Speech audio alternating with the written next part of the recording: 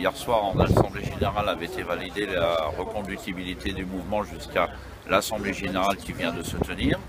Et cette Assemblée Générale a, a revalidé à une très large majorité la reconductibilité du mouvement jusqu'à la prochaine AG qui se tiendra vers les 18h cet après-midi. Nous regardons la faisabilité, comme il a été dit à l'Assemblée Générale, éventuellement d'avoir d'autres lieux euh, où on pourrait euh, euh, de faire des actions. Euh, les équipes syndicales euh, regardent avec les salariés qui sont mobilisés depuis hier matin la réalisation dans les meilleures conditions possibles de sécurité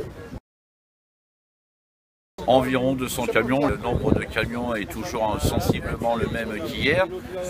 95% euh, des salariés qui sont là depuis hier matin n'ont pas bougé cette nuit et n'ont toujours pas bougé ce matin.